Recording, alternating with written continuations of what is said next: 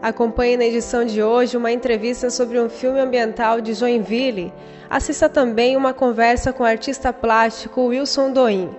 E uma menina que mostrou o que ela sabe fazer. Isso tudo é a partir de agora no programa Você Sabe Fazer.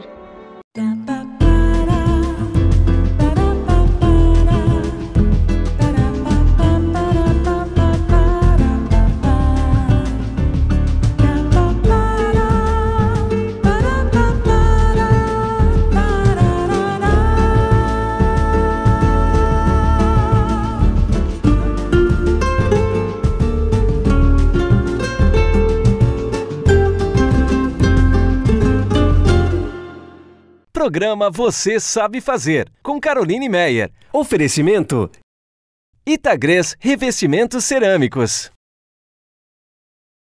E Galeteria Santo Galeto, o verdadeiro galeto ao primo canto de Joinville. Olá, está começando o programa Você Sabe Fazer. Assista agora um projeto. É um filme de educação ambiental e foi lançado na cidade de Joinville. Veja mais agora na entrevista.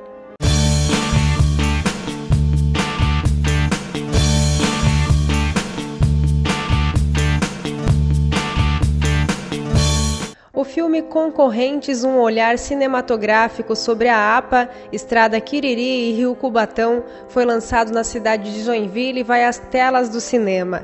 Com atores joinvilenses, o filme tem como objetivo proporcionar a valorização ambiental, histórica, turística e cultural da vida rural. Veja só. Correntes o filme, um olhar cinematográfico sobre a APA, Estada Quiriri e Rio Cubatão. Um filme joinvilense, produzido por equipe de Joinville, para valorizar a nossa cidade e trabalhar com arte e educação ambiental. Daniele, como que surgiu a ideia de criar este filme? Então, Carol, a gente na Casa Teatral a gente vem trabalhando com vários projetos de educação ambiental, teatro, procurando usar a educação ambiental como uma ferramenta, né, para trabalhar a arte e levar entretenimento para as pessoas. Então, eu comecei a fazer várias pesquisas sobre a região da Estrada Quiriri, essa região que é uma APA, né? E conhecendo cada vez mais a região, fui me encantando e começando a conceber essa história, que é uma história de ficção, mas que tem muito de pesquisa, né? Conta muito da história dos moradores, de situações que realmente aconteceram. Então é um misto de realidade e ficção para valorizar nossa cidade. E os motivos por teres escolhido essa, essas duas regiões, quais foram? O motivo principal é o Rio Cubatão né, que é um rio que abastece 70% da nossa cidade, é, onde é feito o tratamento de água que a gente recebe na nossa torneira. Então a gente procurou valorizar o rio Cubatão e entender um pouco de como aconteceu esse processo de ocupação da região ali da Estrada Quiriri, né, até chegar aqui no centro de Joinville e, e trabalhar essa relação da vida rural com a vida urbana. E como que foi a produção é, do filme? Então, foi uma parceria da Casa Teatral com a Mídia 4 Filmes, é, em que a gente juntou é, o talento, a equipe técnica, as capacidades de cada um, e a gente produziu através do edital de patrocínio da Companhia Águas de Joinville, e juntamos uma equipe que ao todo são quase 60 profissionais para desenvolver essa história. Quanto tempo levou para produzir e finalizar o projeto? Olha, desde o início da pesquisa até o resultado final, foram um ano e meio mais ou menos, entre escrita, criação, gravação de cenas, agora a parte de edição, masterização. Cinema dá muito trabalho mesmo. Imagina, e qual, é, como você espera o resultado disso? Quais são as suas expectativas?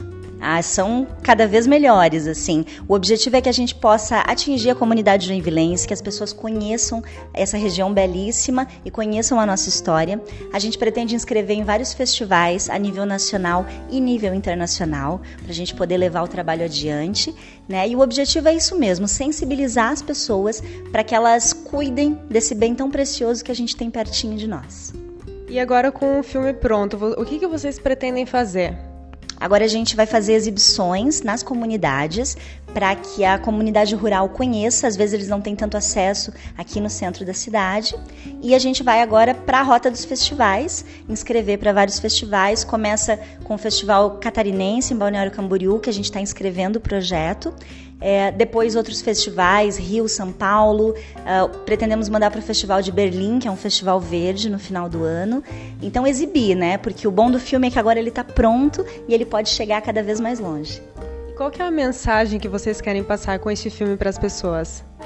É, é, do cuidado, né? Da gente entender que uma região é que está ali não só para servir, que a natureza não está ali só para nos servir, né? A gente depende dela para sobreviver. Então eu tenho que curtir, eu tenho que usar esse rio, essa área rural, só que ao mesmo tempo eu tenho que entender que eu preciso cuidar que eu não posso ir lá e largar o lixo, que eu não posso fazer qualquer tipo de coisa, né? Que eu tenho que tomar cuidado para que aquilo não acabe e que isso não atinja diretamente o nosso dia a dia, né? E quais são os projetos futuros? Olha, muitos. Na verdade, a gente já está com é, outras ideias de filme.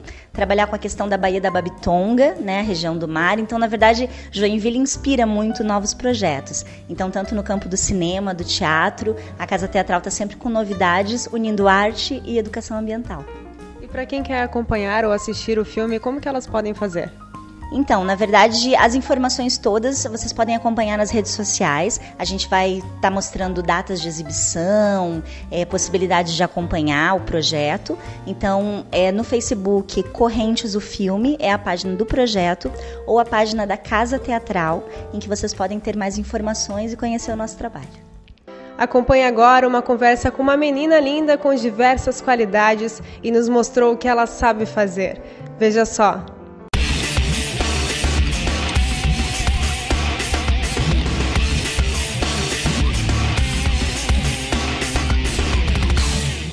Ela tem 9 anos de idade e participou do Mini Miss Joinville 2014. Vocês vão conhecer um pouco mais da história de Emanuele. O que te fez seguir este caminho dos concursos de beleza? É, um dia eu estava em uma loja e um homem entregou um bilhete para minha mãe dizendo que era para eu participar de um curso de passarela. Eu comecei a participar e comecei a participar de concursos, de desfiles profissionais. E quantas vezes você já participou? Quatro vezes. Você pretende seguir com essa carreira? O que, que você quer ser quando crescer?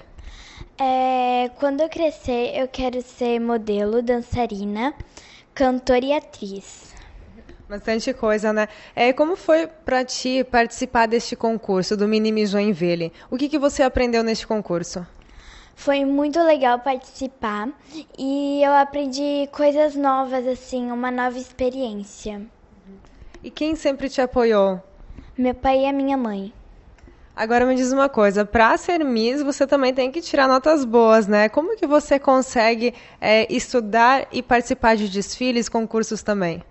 Sim, tem que tirar bastante notas boas e eu presto muita atenção na aula, senão eu não participo do desfile. Além, Emanuele, além de você desfilar, é, você também canta, né? O que tipo de música você costuma cantar? É, eu costumo cantar clássico e também mais agitado assim. Então deixa uma mensagem, uma dica final para as meninas da tua idade que querem desfilar, querem aprender também a participar desses concursos de beleza. Sempre sigam os seus sonhos e não desistam, que quando você, quando você tentar, você vai conseguir. Você me pergunta pela minha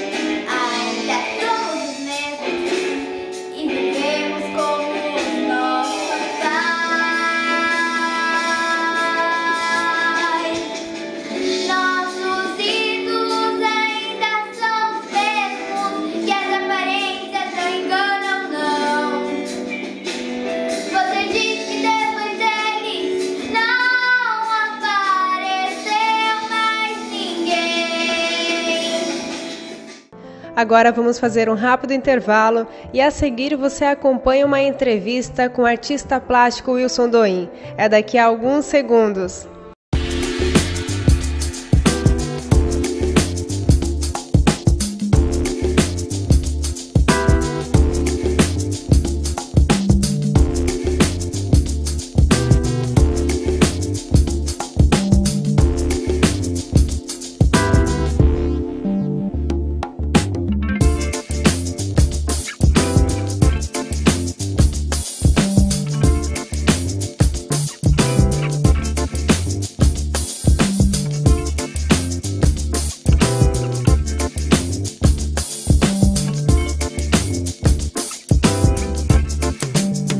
Gostaria de convidar vocês a conhecer nosso buffet de segunda a sábado, com um cardápio variado, 30 tipos de salada, 18 acompanhamentos, 6 tipos de carnes todos os dias. E também contamos com nosso buffet de sobremesas livre, 4 tipos todos os dias.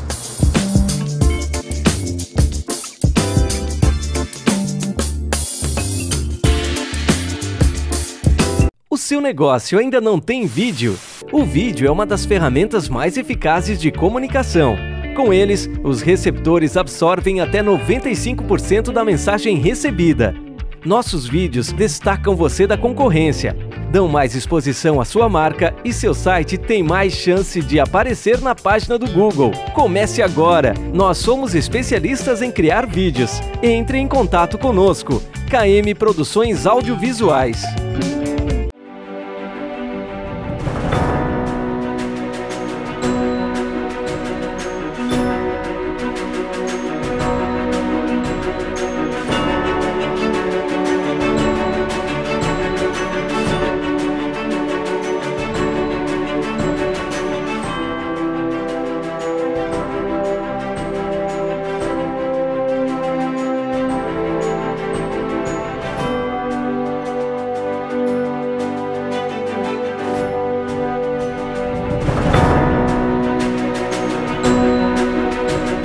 Conheça agora um pouco mais do trabalho do artista Wilson Doim.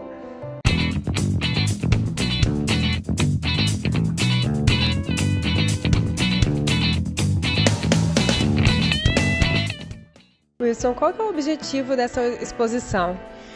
É, muitas pessoas me conhecem como artista aqui de Joinville, muralista, né, por ter feito as obras assim é, grandes como do Hospital São José, Maternidade, agora o último foi do mercado público. Então eu quero sempre deixar para as pessoas que eu também pinto obras com temas que eu gosto, né? Então é, muitas vezes eu faço uma exposição duas por ano para que as pessoas entendam que eu também sou artista de, de telas, né? Sim. E por que, que você escolheu este tema dessa vez? Todo mundo é, que conhece meu trabalho sabe que é, eu uso, utilizo muitas cores fortes, né? E essas cores ela tem é, vindo há muito tempo comigo. Eu não consigo é, sair, tirar um pouco mais ela de, de dos meus trabalhos. Então, a, a força da cor ela está muito impregnada dentro do meu ser para pintar. Então, eu coloquei a, a força da cor é, para que as pessoas vejam meu trabalho, identifiquem ela, né? E toda, toda, todo o sentido de, da, das expressões do figurativo dessa exposição está voltada nisso, na, na força da cor. Você tem. É, o que, que você quer passar para as pessoas? O que, que você quer que elas pensam ao ver a sua obra? É, é justamente o artista, quando ele, ele faz um trabalho que nem essa aqui, essa, essa exposição, ele está colocando o interior dele, né? Então eu tento passar o que eu sou. Minha, minhas telas, ela, ela, não, ela, não, tem que contar a história dos outros, ela está contando a história minha. Então eu tento passar o que eu sou. Lógico que com cores, com, com, com as formas, a, a, muitas crianças, é, o dia a dia, a alegria, o cotidiano. Então é, essas expressões dessa exposição está muito forte nisso. É o dia a dia de cada uma, cada joinvilense, cada, cada ato meu, cada experiência minha. E, e eu quero expressar isso, e que seja isso. Que as pessoas quando vejam essa exposição, ela sinta bem, ela sinta um pouquinho delas dentro de cada tela. Como que você decide criar é, é, todas as obras? Assim, o que, que você pensa? Qual que é o teu processo de criação, a criatividade? Como que surge isso?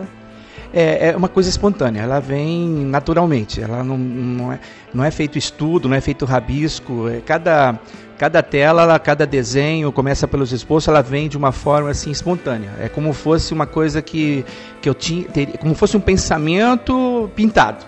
Então ela vem em forma de pensamento, vem os traços, eu já defino as cores. É, o importante é isso. Quando vem os traços, vem os desenhos, vem a força assim de, da, da expressão. Né? Eu tenho que é, colocar para fora. Então isso é naturalmente acontece naturalmente, é uma coisa espontânea. Né? Por isso que é legal é, quando a gente está numa certa maturidade assim do, do, do, do da arte, dos, dos traços, a coisa flui naturalmente. Existe algum critério no, na escolha da cor? As, as cores elas têm é como fosse um buquê de flores, né? É como você fosse numa floricultura, fosse escolher as flores. O cheiro é atraente, né? Nem tem o cheiro da tinta, mas não é o suficiente. É o visual. A tonalidade das tintas misturadas, elas vai dando a, a, a formação do que eu vou utilizar para cada composição. Mas o mais importante é que esse leque ele já vem dentro de mim. Cada artista tem uma, uma, uma formação de tonalidade, né? Cada um escolhe uma, um, um, os tons específicos. O meu vem naturalmente naturalmente. Ela não tem que ficar medindo. Lógico que faça um processo. Eu podia aqui falar que eu nem fosse assim uma, uh, um alquimista, não, porque eu misturo aqui. Não, ela vem naturalmente e é, é uma coisa quase que automática. Ainda bem, né? E quais são os materiais que você utiliza? eu, eu, utilizo duas, duas, duas esferas, né? Tanto óleo como acrílico, mas eu estou mais agora na tinta acrílica. Ela seca mais rápido, mas ela me dá condições é, mais fortes de eu ver como vai ficar ela já pronta seca. Aqui na exposição tem quantas obras e você tem, é, tem como falar quanto tempo você levou para fazer todas elas? Eu trouxe para cá, eu trouxe para cá mais de 70 telas, tá? Até porque eu tinha muitos trabalhos que eu tô, que nem você já me fez uma entrevista anteriormente sobre o painel do Jack. Eu tô já dois anos e meio em cima desse projeto do Jack. Mas nas, quando é para mim descansar um pouquinho, eu vou para minhas telas.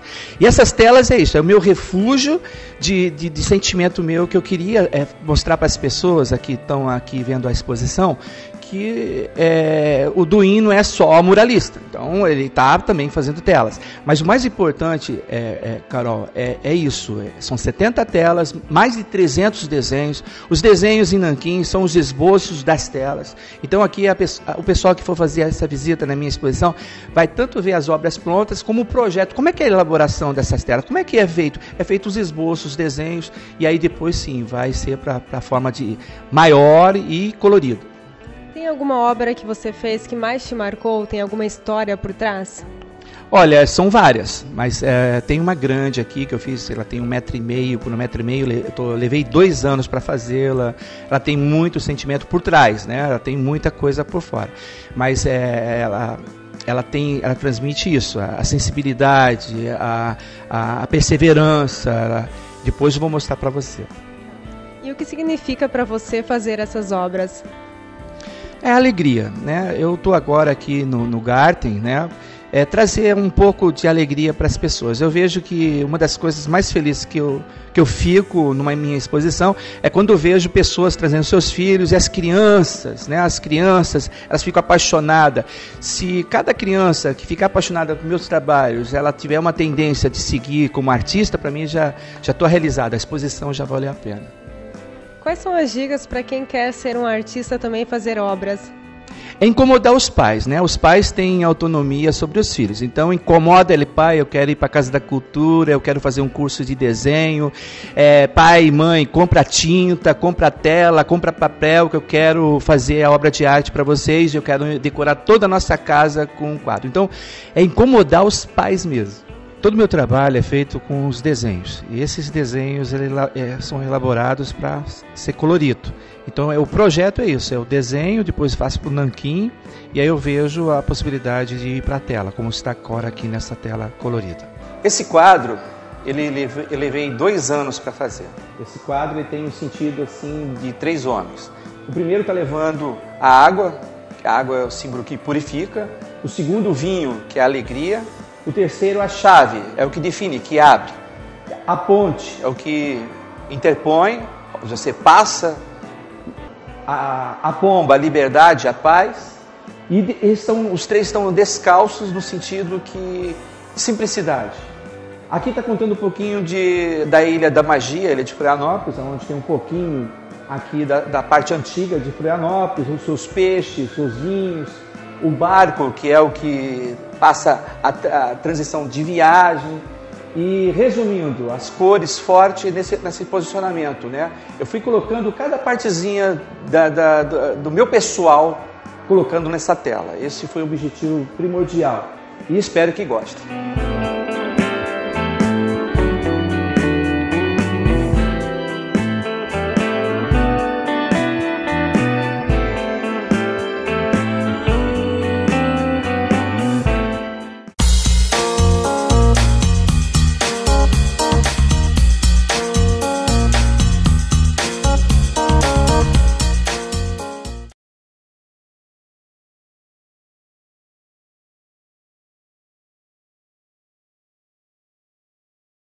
Daiane, o que é a técnica Chantala?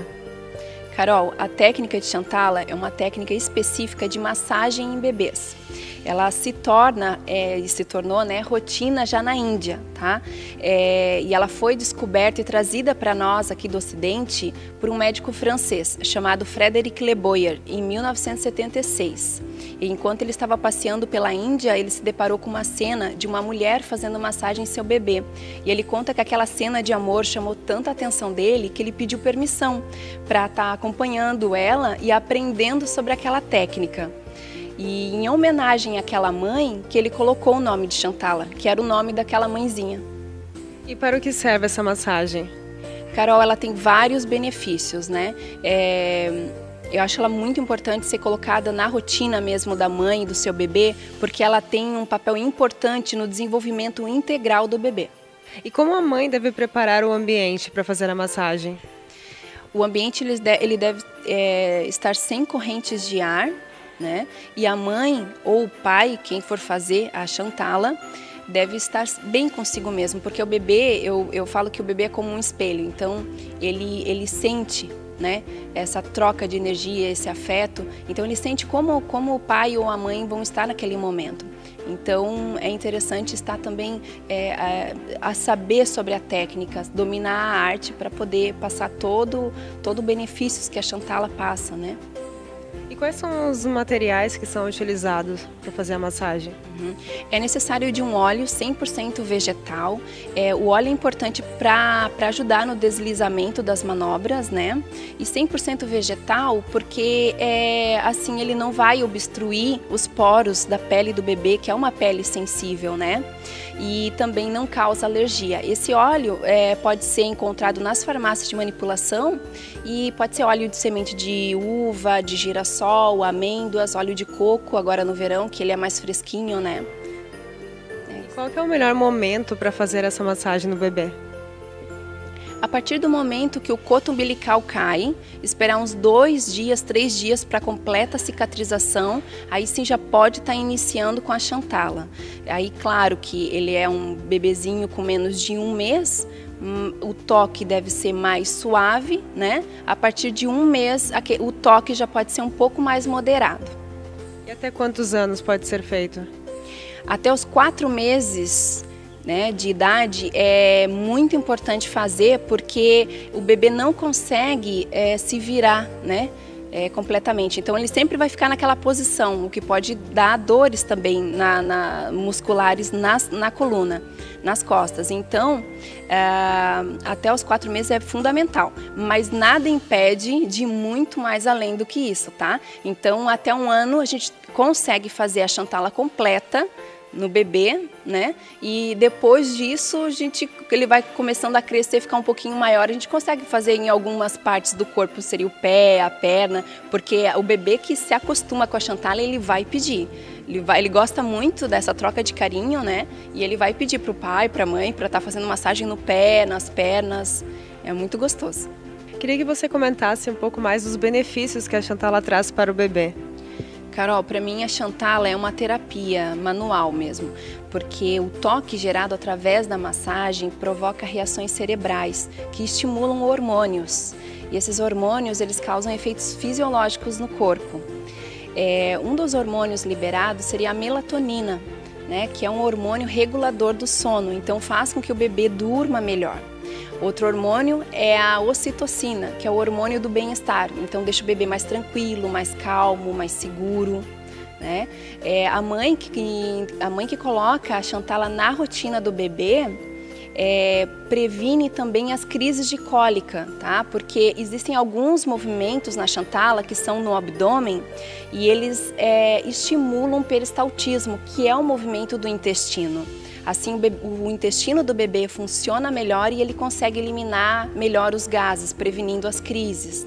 Né? Outro grande benefício que eu vejo é a interação entre a mãe que, e a mãe o bebê ou o pai e o bebê. Né?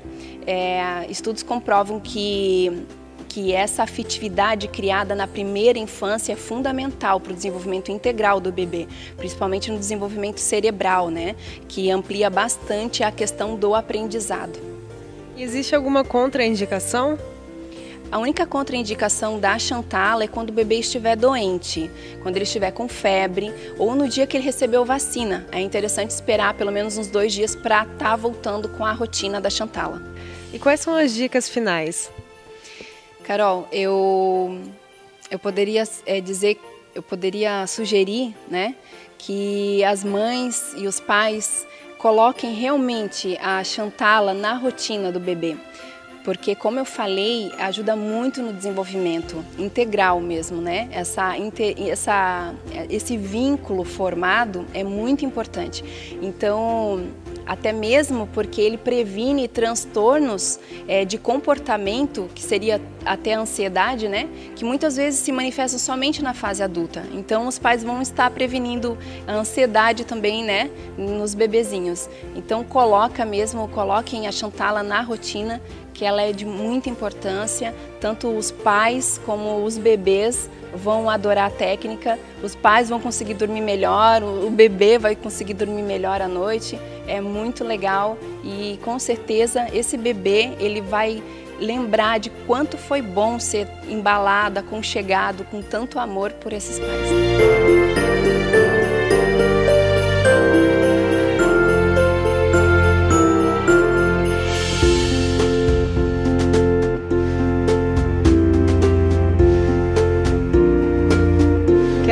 Agradecer pela sua companhia na edição de hoje e espero você no domingo que vem às 14h30. Até lá, tchau!